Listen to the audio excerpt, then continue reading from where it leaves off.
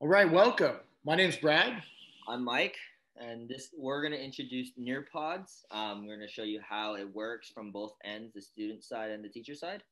So we first want to start this actually with the probably the simplest way to make a Nearpod presentation is you want to download this add-on for Nearpod. Now you can make these presentations in Nearpod, um, but I don't know about you, Mike, but I, I think it's much easier in Google Slides. What could, in your opinion, what's a benefit of doing it in Google Slides other than think, easiness? I think it's just familiarity because okay. it's like we're all familiar with Google Slides and Nearpod, and I think when you open it with Nearpod, it just sends you to mm-hmm. Google Slides. So, you know, cool. it, it's just you know, if it's a if it ain't broke, don't fix it. There you go. Excellent. Yeah. So I think too, like we have this, so we got this add-on here and, and essentially you can use this to create any type of Nearpod power that you'll see in the presentation and then it'll just add it on.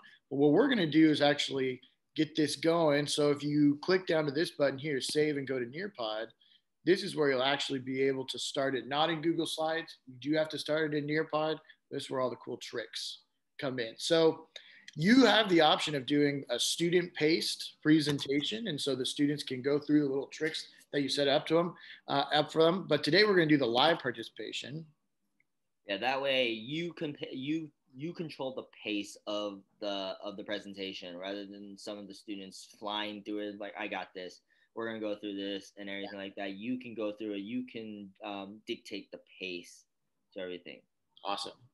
So now, now we're here, and basically, students have the option of going to join.nearpod.com, or you can actually send them the link. I don't know about you, Mike, but I've been just sending the link in the chats, and then they join that way. But I think I'm going to do join.nearpod right now. What about you? Also, you know, it's a lot harder for the kids to um, try and join. I'm joining with my phone right now, and right. you know, typing in the code, typing in the web page and the code, you know, could take could be some cumbersome. We all have Google Classroom now, so it's just sending the link through Google Classroom is way easier. Uh, that's that's a good idea. Google Classroom is a good way to do that. Yeah. I know a lot of teachers at, at our school too do remind. I suppose that's another way to do it. That is. Okay, so what Mikey and I are doing right now is we're just kind of adding this to our phone because we want to simulate what it looks like as a student um, also. So right now I'm just like joining the game. And so as the educator on the computer, I'm wondering, uh, do you need this code, Mike? Are you good? You got what you uh, need? I, I can wait. I am good. Okay. And if I go to the presentation, you can see down here actually the number of students. Okay, so we got Brad and we got Mikey. So we're good to go. Okay, we got our class. And um, Mikey, tell us a little bit about what you're seeing on your phone. So on my end, I'm gonna see the slide, like pretty much what the slide is. I can't move the screen at all and everything like that. Right now, I have Nearpod engagement tools, so you know now we're just going to wait for the teacher to start the presentation. Okay, excellent, and that's that's a key point too. The uh, students cannot go ahead, and that would be if you want the students to be able to work at their own pace. That's where you do the student pace. Awesome. So let's dive in. One one more tool actually is you can hide student names. You can show student names. That'll play a role when we do uh, the different like tricks and things like that. And then you can also quickly kind of navigate. But we're just gonna go one by one. Yeah. The first one, we're your guides. All right, Mikey, tell us a little bit about this one. Yeah, so this is basically a draw tool. Um, basically, the students can draw and uh, recognize. A lot of science people like to use it, like either drawing mitosis, cell cell uh, cell reproductions, and stuff like that, or it could be um, something from history, drawing drawing a battle, or talking about constitutions and everything like that. Okay, great. So let's actually see. Okay, so our ability to draw as you can see the student side, you can see there's a bunch of draw tools on here. You can draw a schematic. Um, as you can see in real time, someone will be able to see what's going on. And then if I hit submit, what's going to happen is on the teacher side, you're going to be able to see what the students have already drawn. As you can see, two students have drawn it. You can comment on them. You can kind of tell them, oh, this is great. This isn't you know, kind of like reinforce it. You can see the yep. student stuff. You can do everything. Why don't you hit the share button? Great. So the share button actually shows every student that's looking at the slide what you think a modeled um, answer would be. So if you're looking at an answer that um, that like majority of the kids didn't get correct and a certain couple of kids did, you can actually share the modeled the modeled um, situation, which is great. That's pretty cool. So let's let's do unshare here. And another thing too that you can show is so for example, I have no idea. I would have no idea how to answer this. And and granted, it does show my name. Maybe you want to get rid of that. So you can hide student name, but you can use this as an example to say, uh, not quite. Not quite. And and you can kind of correct it in real time, or you can go back later and see, okay, who did really understand what I was teaching. Yeah, exactly. Cool. All right. Moving on. Okay, so this one has a video, and then you can decide do you want this to play on all the devices or do you just want it to play on the computer? We're going to play it just on the computer for now. And actually, what I am going to show you, so um, it'll say paused on the on the student side. This is actually a lecture video that I recorded with Screencastify, and so I'm just going to play just a short clip so we can hear it.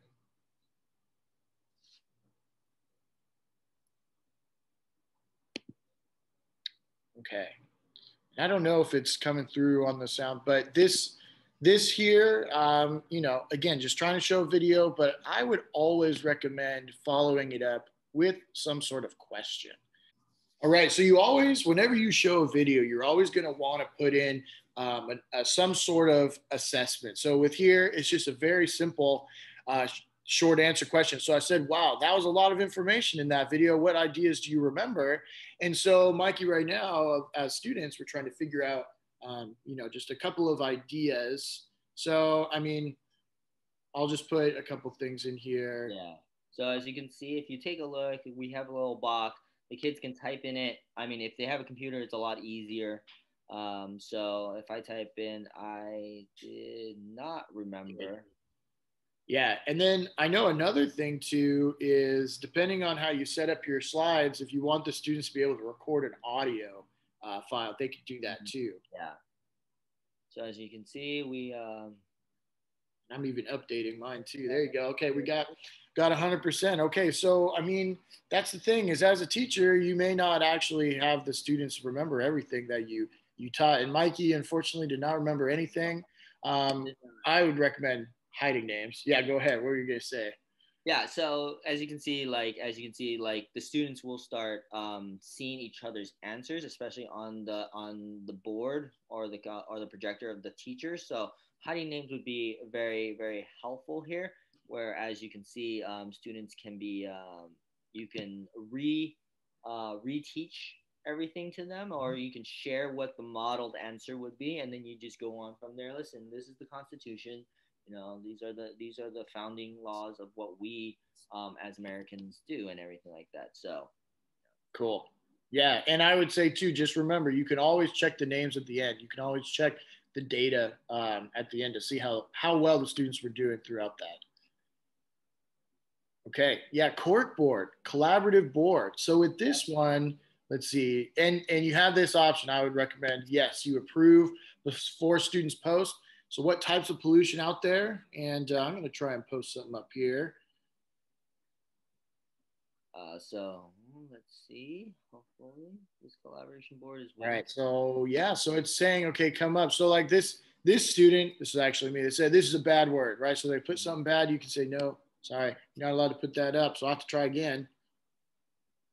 Yeah, and sometimes, you know, as you can see on the on my cork board, is the fact that I had a I had something that said that it wasn't approved by the teacher yet.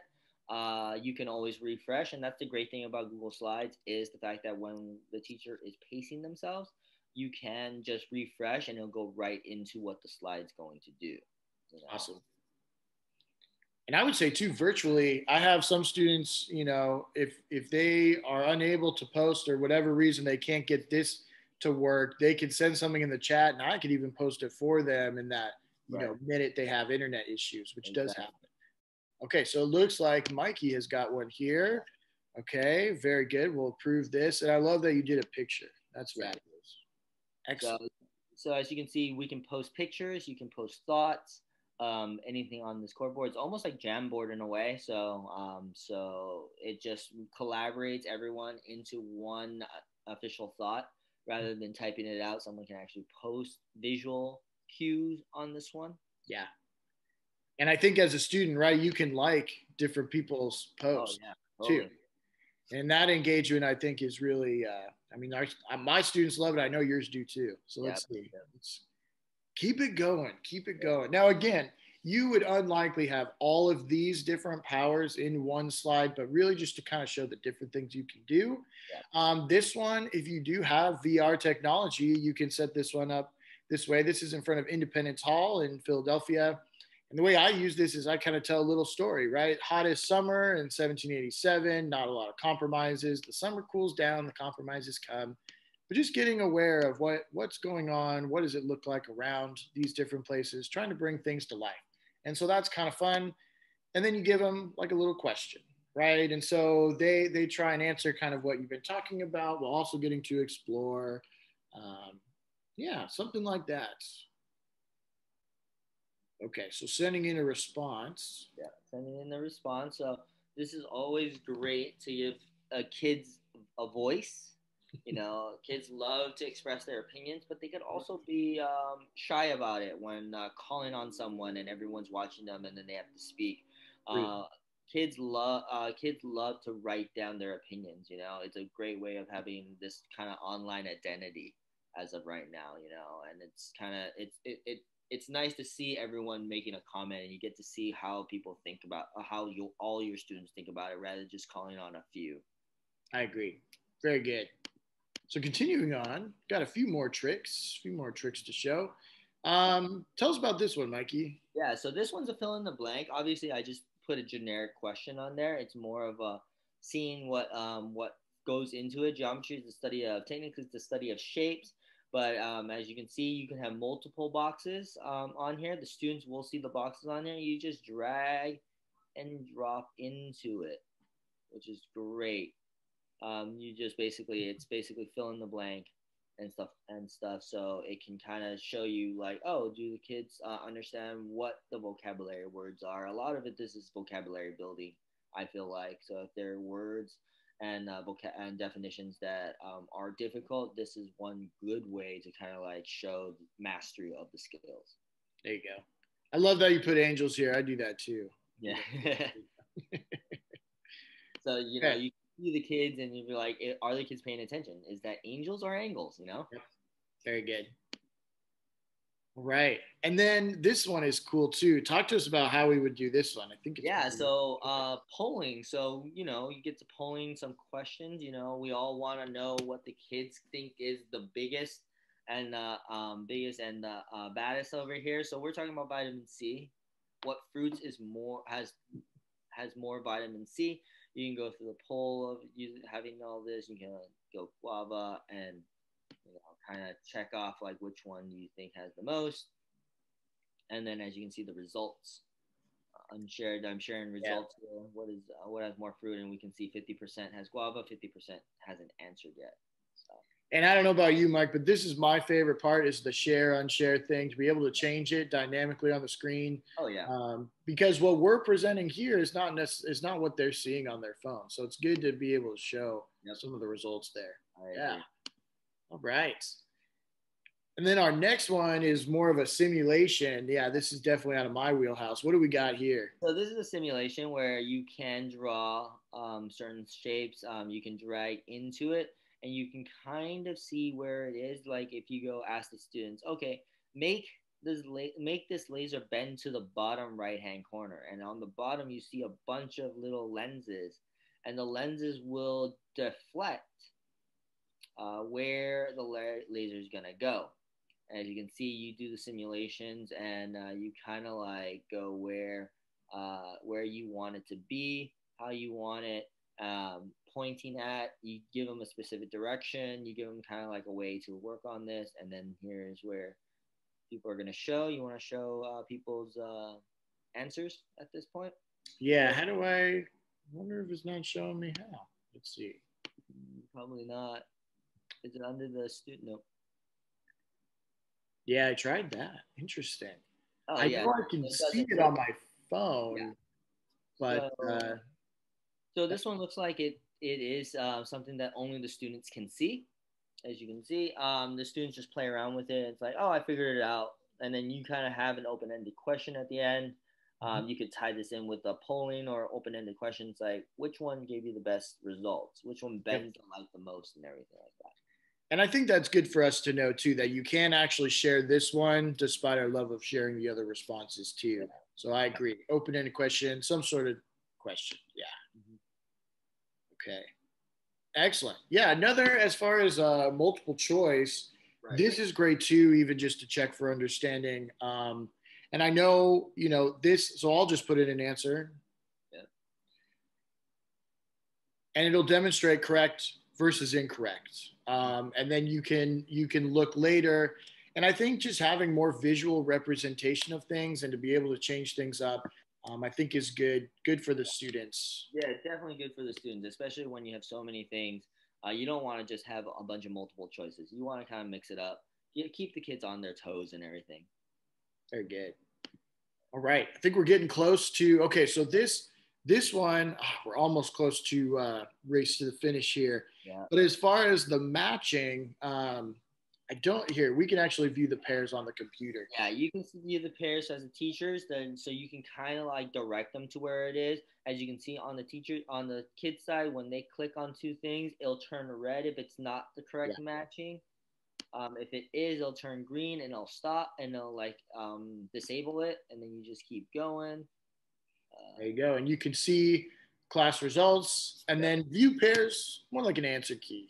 yeah. Answer key. And then yep. you guys talk about it, discussions. Yeah, that's a great way to match things up. I like this one, and even though I teach AP students, it's it's a good one because again, a lot of these tricks are just formative assessment to make sure the students are paying attention. Right.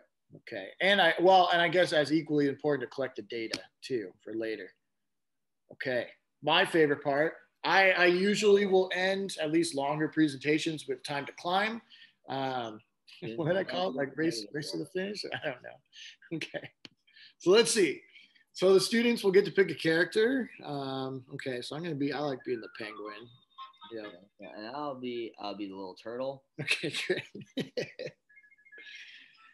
Yeah, anything you can use as gamification. I'm I'm a huge fan. Gamification is one of the best tools I feel like in my classroom because the kids love to get competitive in some way, shape, or form. There will be the shy ones that don't want to, but deep down, I feel like they do. Yep. I guess I was I was waiting on me. Okay, so we're good to go. We got our characters, yep. and this is just kind of like a Kahoot quiz, I suppose, but um, there's a lot of lot of visual, lot of visual aspects. Okay, so the question, all right, the branch government that has the ability to declare war, and I made this one 50-50, legislative or executive, that. and uh, that's okay. I mean, really just trying to show. So I made it up there. Mikey took forever. Too bad. Too bad. all right, after a long heat. Okay. All right, so let's take a look. As you can see, um, it also tallies up who who answers faster, so points right. matter. There on you there. Go. See, we're climbing up there. And then one more we got. Okay, so founding father was the main architect. Ooh, right. Ooh, and I think, yeah, we both got it, but I was much quicker, right? So that's that's something too. And I wouldn't necessarily use this as like a full test review type of thing, but definitely as a review for your for right. your presentation. All right. And actually that is the end of our our presentation. And at that point it will it will save things automatically. And if I I just go out uh, you can resume this session later. Do you want to leave? Yes. And then you can always come back to it. Right. And I think that's kind of our our travel through Nearpod, and we also have directions, written directions that will follow this as well. Thanks, Mike, for joining us. Oh, thank you for having me. It was great. It was fun. Uh, we got a lot of got a lot of uh, information out of there. Hope you guys uh, learned a lot. That's great. Excellent. Yeah. Have a great day, everyone. Uh, see ya.